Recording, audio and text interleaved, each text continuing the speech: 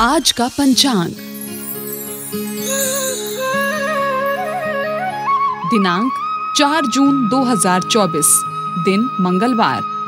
विक्रम संवत 2081 शक संवत 1946 अयन, उत्तरायण, ऋतु, ग्रीष्म, मास, ज्येष्ठ, पक्ष, कृष्ण पक्ष। तिथि, रात्रि दस बजकर एक मिनट तक, त्रयोदशी, तदुपरांत, चतुर्दशी। नक्षत्र भरणी योग शोभन दिशाशूल उत्तर।